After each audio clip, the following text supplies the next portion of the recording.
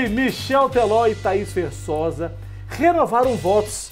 Eu achei, achei bonito isso aí, numa cerimônia belíssima e luxuosa no Cristo Redentor, no Rio de Janeiro.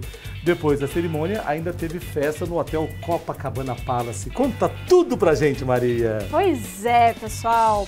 O Michel Teló e a Thaís Fers- Versosa, eh, eles completaram aí 10 anos de casamento e para comemorar em grande estilo, eles decidiram renovar os votos do casamento ao lado da família e amigos no Cristo Redentor.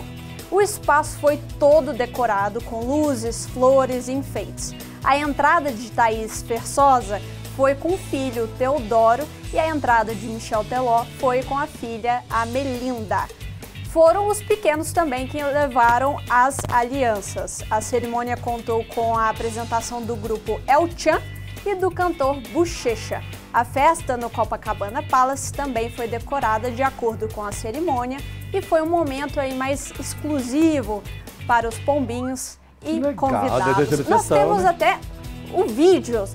Tem aí, pessoal? Se tiver no jeito, pode soltar. Aí, a entrada ó. dele.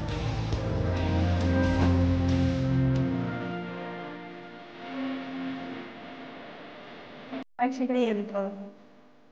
Deu até vontade de casar? Oi, menino. Ah, vocês que falando. Não, é. Foi bom mesmo. Vamos um tonhão você aí, manda ver. Ah, bonito mesmo, hein? Olha lá, gracinha. Ó, essa música aí. Ô, Michel Vai Miaki, casar. Lindo, né? Tudo bonito, Cristo Redentor. Se é um de nós aqui, Michel Miaki, um time da reserva, tem tiroteio na favela do Morro da Santa Marta e chove. Aí atrapalha tudo. Aí, trabalho É. tudo. né, né? É. Cristo, né? Me... Pois é.